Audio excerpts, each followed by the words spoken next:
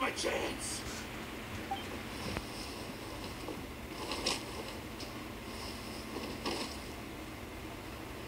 Huh. That was weird.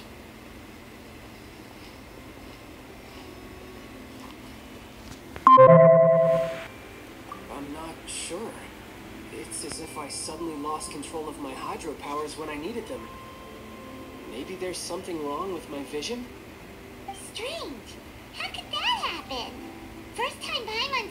Heard of someone losing control of their vision.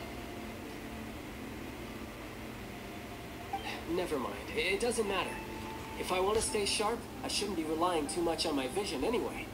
Besides, I always have my delusion in case I need it.